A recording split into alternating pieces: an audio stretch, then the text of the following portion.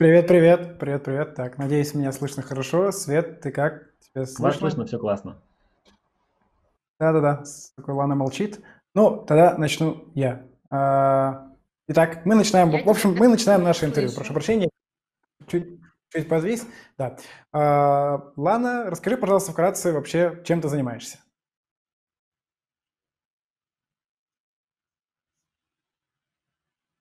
Алло, я руковожу, как нас... уже Костя успел сказать. Слышно? Все в порядке. Да-да-да, все в порядке, все в порядке. Да, супер. Супер.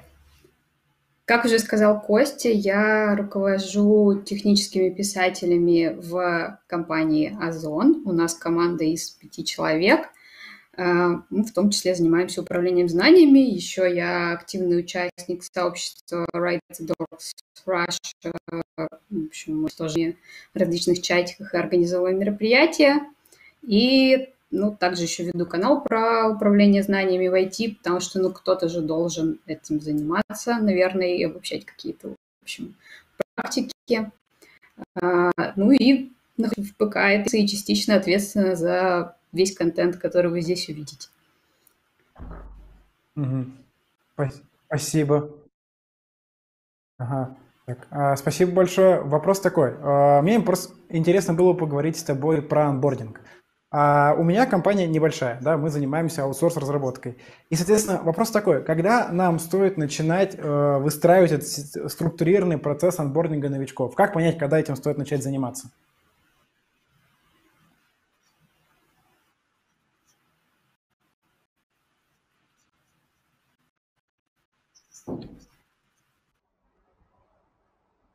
Антон? Да-да-да. У нас, я, вероятно, я произошла какая-то техническая задержка. Антон, приходи, давай поговорим. Я слышу тебя хорошо. Да-да. Сейчас на, на, наши коллеги да, я тоже слышу тебя. Ты хорошо. можешь порадал. Я брал у Ланы интервью на прошлом э, KnowledgeConf, на самом деле. Я попробую тебе а, хотя бы, ну, пока прекрасно. Лану возвращают, с да. актуальностью один год поотвечать на твои вопросы. Э, повтори, пожалуйста, да, да, давай, отлично. Я, как бы, ты можешь, конечно, его, конечно, ко мне Смотри, направить, на всякий случай, чтобы Лана сам не сильно крипово себя чувствовал. Лана, привет тебе, когда ага. будешь смотреть эту а, запись, надеюсь, тебе будет смешно. Да, да, да, да. Вопрос, собственно, простой. А как понять, вот на этапе роста, на, на, во время роста компании, как компании понять, что пора процесс анбординга жестко структурировать? У нас сейчас как бы слегка хаотично это происходит. То есть мы анбордим так, как анбордится. Но я знаю, что есть вот прям в крупных компаниях специализированные процессы А, Б, С, Д, пункты и так далее. Вот вопрос. Когда понять, когда мне стоит в эту сторону двигаться? Ну, окей, ладно, хорошо. Э, перестану э, пытаться отвечать э, как Светлана, потому что ну, не настолько много опыта у меня в онбординге, но отвечу какое-то своим мнением на этот счет. то есть мне кажется, что то есть, вообще по опыту в компаниях, в которых я работал, о таком вопросе начинают там точно задумываться, когда численность, во-первых, как, когда текучка, наверное, текучка называется, наверное, смена, вот обновление кадрового состава происходит настолько часто, настолько часто, что что просто, ну, слишком много времени тратишь каждый раз, каждый специалист на это. Ну, то есть, э, как только вот это критическое время вырастает, э, кажется, что пора об этом задумываться. Но я уверен, что Лана ответит лучше, и давайте посмотрим, э, получится ли у нее это сделать. Да, давай попробуем, Лана, попробуем еще раз. Надеюсь, у нее получится. Лана, привет. Почему-то я, я... Ладно, я тебя отлично вижу, прям прекрасно, но я тебя не слышу почему-то. А я тебя и вижу, и слышу. Все, супер, супер, теперь я тебя слышу. Хорошо, повторю свой вопрос. Как понять компании, что пора вводить структурированный процесс анбординга? Да, я уже наполовину ответила на этот вопрос до того, как поняла, что меня не слышно, mm-hmm. поскольку анбординг – это достаточно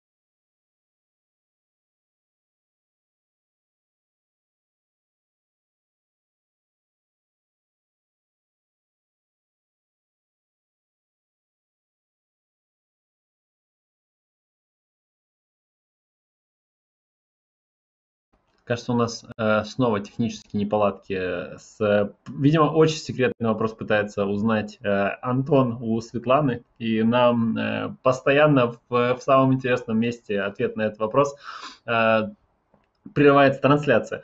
Ну ладно, э, я уверен, что мы интервью это еще обязательно починим и послушаем. Э, давайте, раз в этом духе я начал, раз я начал таким образом э, подводку к этому интервью, я поделюсь с вами еще одной байкой. А, я поделюсь с вами еще одной байкой. И эта байка будет про то, а, про то, что э, бэкапить можно не только как мы это обычно делаем.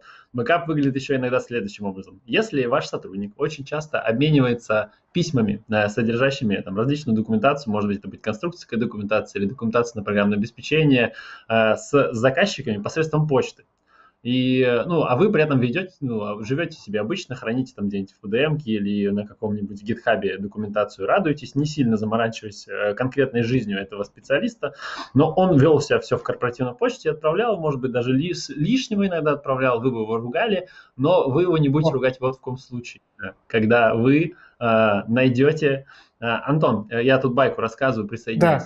Да, байка да я уже стандартный ты бэкап. классно справляешься, вот. спасибо. Она, да. она выглядит, в общем, э, выглядит вот, в общем, каким образом. Если этот человек после какого-то времени э, нас столько много отправляет документации по работе, по своим продуктам наружу, то его почта внезапно может стать самым просто максимально полной не только историей изменений, но и вообще фактически полной э, комплектом документов, иногда даже конструкторских полных, там в, в моей тусовке приборостроителей такое тоже бывает, э, что там один из каких-нибудь менеджеров э, может у себя в почте собрать фактически полное АКД на изделие, и после этого его почту можно использовать просто как папку, ну, то есть взять ее, отдать на стороннее производство, и по этой папке произведут продукцию этой компании. Mm-hmm. В общем, короче, не всегда ругайте людей за отправку. Понятно, что подпишитесь с ними нужные документы о том, что можно отправлять, что нельзя, но вот такого рода бывает. Антон, ну, в целом, давай мы тогда с тобой поговорим. Я байку рассказал. Если вдруг у тебя есть да, какие-то да. байки в стиле таких, давай поделись, или попробуем поинтервьюироваться еще, если хочешь. Слушай, байка прикольная, то, что я на эту конфу, пока еще не стал докладчиком, я выиграл билет, потому что запостил, как я, э, ну, сфотографировался там, на Team LeadConf была такая тема, то, что фоткались преступления против знаний. И я там занял второе место, и как раз таки у меня была тема, мое преступление против знаний заключалось в том, что я храню документацию к API в виде 10 сообщений в Телеграме. Вот. И, собственно, интересная байка в том, что даже несмотря на то, что я понял, что это мое преступление, я не перестал так делать. Буквально Вчера я разработчику, вчера я разработчику кидал э, сообщение, где типа вот пост, адрес запроса, бади его, и все, вот, вот так вот. И каждый раз, когда я делаю, мне каждый раз слегка смешно, потому что я... Да, да, да. Да, да, да, как раз Света она была У нас на тебя дело есть. Да, да, да. У нас на тебя есть дело, мы это тебя помним, да. Полиция знаний на самом деле очень страшная да. история такая. Мы ее придумали специально, чтобы пугать людей, пугать сообщество тем, тем, что, тем, что то есть люди бы опасались, что есть такая сила, которая борется вот с нарушениями в этой области. Мне кажется, стенд на Team Lead Conf получился просто офигительно. Я рад, что ты принял там участие. Тем что ты получил билет, смотри, на сок ты получил билет, ты ему прям в центре конференции, понимаешь? Без этого, ну, а где бы ты был без да. этого, вот этого стенда, вот понимаешь, да? Но, соответственно, меня тут сообщают, что да, Лада да, да. снова готова. На всякий случай я тебя предупрежу, задать другой Давай вопрос. попробуем еще задать раз. другой вопрос на всякий случай. А, хорошо, Задай хорошо, конечно, конечно, никаких проблем. Да. А, смотри, ладно, мы с тобой когда как-то как разговаривали, не помню в каком контексте, ты рассказывал про такое понятие, как э, культура обмена знаниями. А что такое культура обмена знаниями? Есть какое-то определение у этого понятия? Надеюсь, в этот раз связь нас не подведет. Надеюсь, а то отвечать третий раз на когда стоит делать отбординг, это практически противоречит но, правилам но мы уже управления вопрос. знаний. Да. да. Обмен знаниями – это прям более тяжелый вопрос, чем э, вопрос про когда делать онбординг, э, потому что на самом деле мы все очень часто начинаем с обратного, когда мы пытаемся построить себе процесс управления знаниями. Мы начинаем с инструментов, как нам лучше, в чем это делать, в чем будет удобнее, какая должна быть функциональность. Мы, в общем, наверное, этим грешим не только в управлении знаниями, а много в чем. Э, во многих процессах. Э, культура обмена знаниями – это часть инженерной культуры или какой-то корпоративной культуры, которая тоже достаточно такая эфемерная, абстрактная вещь, э, наверное, которую сложно пощупать. Но она как бы без остальной инженерной культуры, наверное, невозможна. Да? Это какие-то правила гигиены общие, принятые в компании, как мы делаем и как мы не делаем. Но если пытаться ее выделить изнутри вот этого широкого понятия в целом корпоративной культуры, то, наверное, это какая-то разделяемая ценность того, что знания не нужно сосредотачивать в командах. Если ты э, сделал что-то, как тебе кажется, хорошее, или даже если ты сделал что-то не очень хорошее и нашел какую-то проблему в своем коде или в своей системе, в своем сервисе, то ты должен этим поделиться. У тебя должна быть привитая в ходе анбординга или на найме проверенная в процессе найма, да, то есть ты нанял уже людей с разделяемыми ценностями э, и поощряемая руководством обязательно, без этого вообще никак, потому что если руководство не разделяет какую-то ценность, будь то культура обмена знаниями или что-то другое, то как бы это все не так э, хорошо прививается. И разделяемое, соответственно, руководителями – ценность того, что ты э, чем-то поделился и этим самым э, сделал какие-то процессы прозрачнее. Вот, наверное, я бы так это определила. Я понял, спасибо. Вопрос, ответ получился достаточно развернутый. Я сейчас в голове у себя его перерабатываю. А, но есть какие-то критерии у этой культуры обмена знаниями? Она может быть эффективной, неэффективной или полезной, бесполезной? Какой-то вообще может быть не знаю, средство, способ оценки культуры обмена знаниями в компании, в команде или где угодно? Оценка – это вообще большая боль э, процессов таких, как управление знаниями, в силу того, что э, обычно они не несут за собой прямой конвертации в деньги. Э, то есть ты, э, если ты, не знаю, там, сделал продажи, продукт, тебе гораздо проще, наверное, а, инвестировать в денежную эквивалент или даже в случае с э, культурой обмена знаниями и вообще с управлением знаниями. В деньгах или в часах не так легко, э,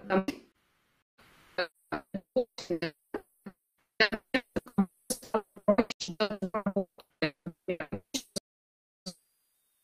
Э, на многократное да, там похоже. хождение от одного человека к другому. Я тебя слышу. Да, сейчас слышно, ну, вот часть фразы пропала, вот. но пока я контекст не потерял, так что в порядке, продолжай.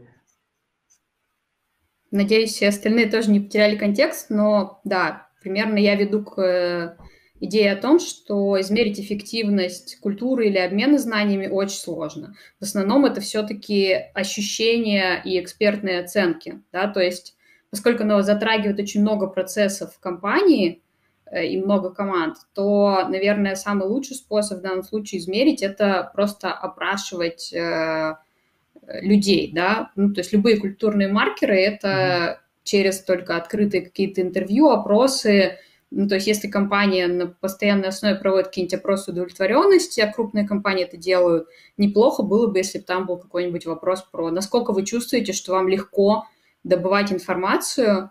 Э, есть э, хорошие исследования на эту тему, как раз э, я потом где-нибудь поделюсь тем, кому интересно, но те, кто совсем интересуется, наверняка знают.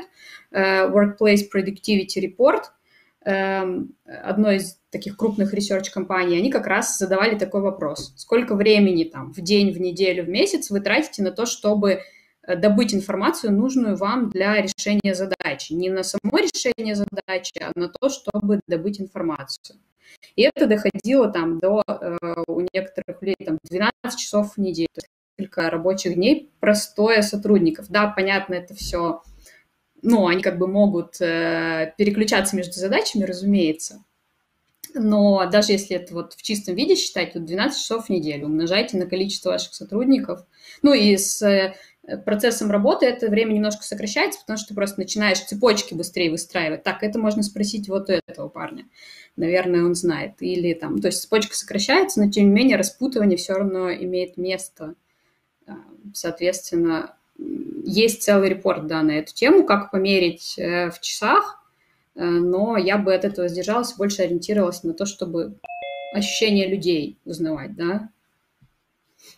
Угу. Я понял, ну, в целом понятно, то есть мы базируемся на, а, а, от, отталкиваемся от обратной связи, вот, то есть какая обратная связь у нас от нашей группы исходит, да. так мы понимаем, эффективна у нас культура обмена знаний или нет. В целом довольно-таки просто, правда, тяжело, тяжело измеримое, но, но, но найти подход к этому можно. А расскажи, пожалуйста, э, как так получилось, то, что ты попала в ПК Knowledge Conf, и более того, в прошлом году ты была руководителем этого ПК, насколько я понял?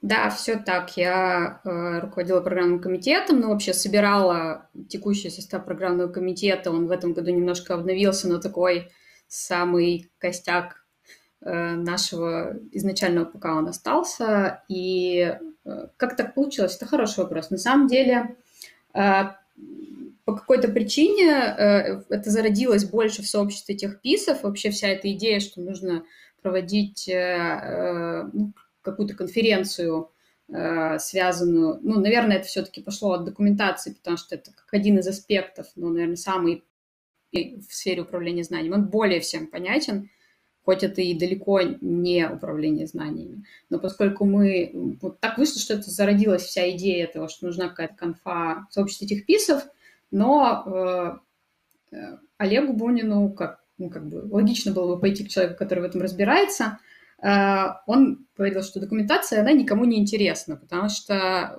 кроме вас, техписов, в общем, ей никто не озабочивается. Ну, да. С такой формулировки. Документация, ну, что-то скучное. Э, нужно что-то шире, что-то, что затронет прям вот более людей. Да, да, типа, что, ну, не пишем и нормально. Нужно было что-то более широкое, чем документация, что реально затрагивает боль прям у разных групп и у тимлидов, и у аналитиков, и у просто и у разработчиков разных видов, и у техписов тех же самых.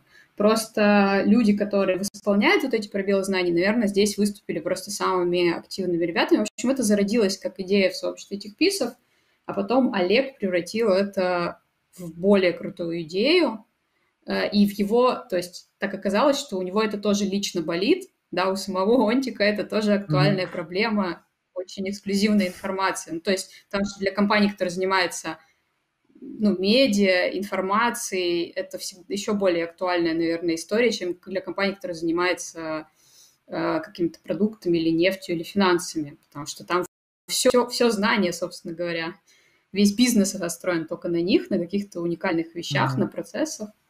Вот, поэтому, да, так сложилось, что было желание снизу, и было какое-то желание упаковать это и представить. Была вера вот в эту всю штуку у Олега, и он позвонил мне в какой-то момент и сказал, не хочешь ли попробовать сделать конференцию. А потом я нашла mm-hmm. еще классных ребят, таких как Костя, например, которого я сейчас вижу, который, у которых тоже эта тема болит. Ну, у вас получилось классно. Спасибо. у вас получилось классно, спасибо большое. Спасибо за этот вопрос. Крутое, крутое интервью. Всегда, я пожалуйста. иногда даже дополнял тебя чуть-чуть, подключал Антон. В общем, было классно, на самом деле. Мы в следующем году еще веселее сделаем. Э, вот, соответственно, всем спасибо. Спасибо вам да. за интервью. Отлично поговорили, мне кажется. Я был во всех ролях, мне понравилось. Э, вы тоже были молодцы, да. Э, соответственно, переходим дальше.